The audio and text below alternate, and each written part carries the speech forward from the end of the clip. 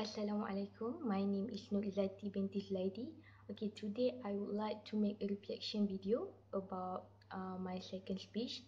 Okay, the topic that I choose is uh, the impact of climate change. Either it was a serious issue or not. Uh, I'm totally agree that uh, climate change is a serious issue Okay, the weakness that I found in my um my speech is I'm still uh feel nervous during give a speech. I think this is common for a presenter.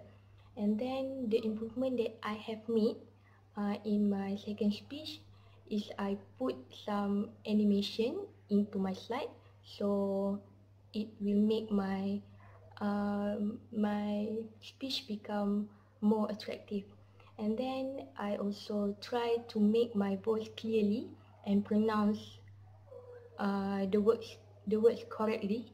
Uh, because before this uh, the lecturer was comment my voice is low and then uh, I also do some practice uh, before give my speech.